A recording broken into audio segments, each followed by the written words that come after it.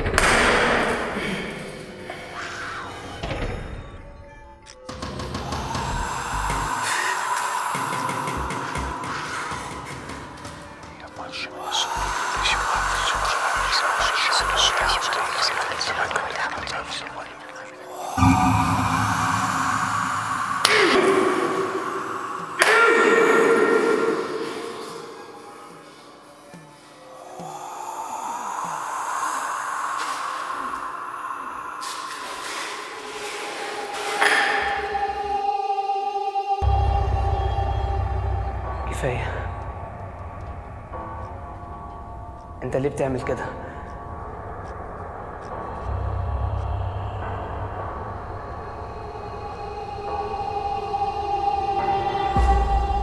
انت اللي حابسني في ده وبتقتلني. ما بقتش عارف اتحرك. ما تقربش. سيبني ارجع. زمان أمي قلقانة عليا.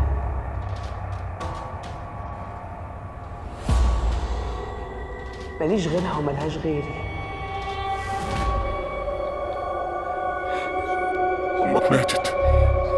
ماتت. بقول لك أمك ماتت. لا. ما ماتتش. ماتت إزاي وإحنا المفروض كنا ننزل سوا نشتري هديتها؟ ها؟ رد عليا. ماتت إزاي وهي وعدتني انها هتفضل جنبي؟ ماتت إزاي وإحنا وهي عارفة انها كل حياتي. محدش فاهم. محدش حاسس يعني إيه تصحى كل يوم من النوم تتمنى يكون كابوس. لكنه ما بيحصلش. محدش عارف كم الألم. محدش حاسس بيا.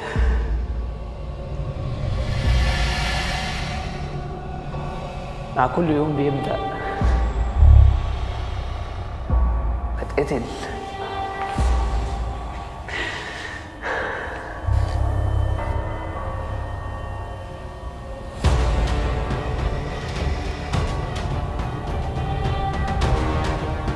انت ليه بتساعدني وترجع تقتلني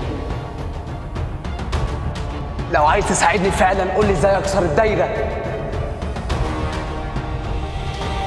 قول لي إزاي أوقف الألم.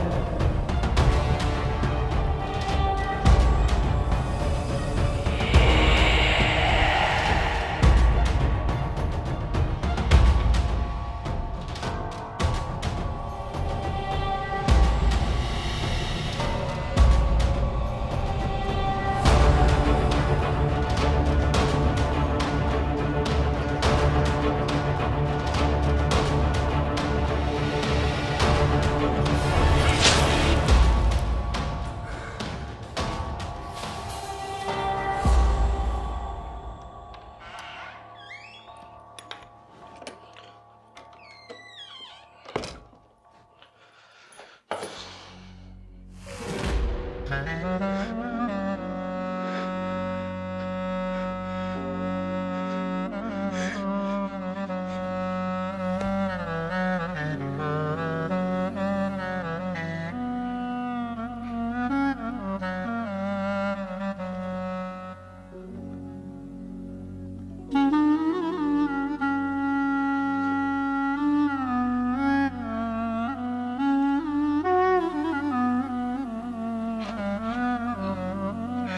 ليه عملت كده؟ هقول لهم اللي ما يجي ياخدوك دلوقتي. هقول لهم انتحر. محدش هيرحمك. والناس كلها هتجيب في سيرتك. محدش حس باللي انت حسيت بيه ولا عاش اللي انت عشته. أنا مش مصدق. لا لا لا. أنا مش مصدق. يا رب. يا رب يكون كابوس. وأصحى منه دلوقتي. يا رب. يا رب.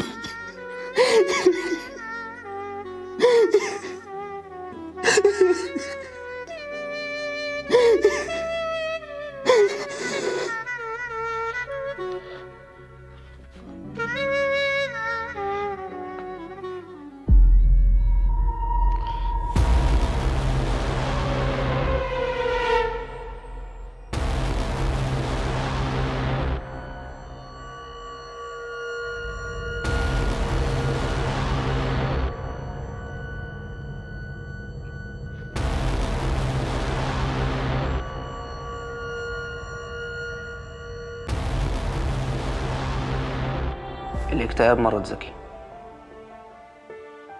بيعرف إزاي يخبط على أضعف باب في روحك. وهتفتح له. هتقبله لأن في العزلة هيبقى جنبك. مش هيسيبك وحيد. هيستغل ضعفك. غضبك. يأسك. وهيقرب منك ويسيطر عليك. ويبعدك عن كل اللي حواليك. دايرة من الألم لو معالجتهاش مفيش هروب منها غير بالموت. ولو قتلت نفسك بحجة الألم هتموت ظالم. لأنك نهيت ألمك أنت. وسبته لغيرك يشيله. اليأس خيانة. الانتحار أنانية.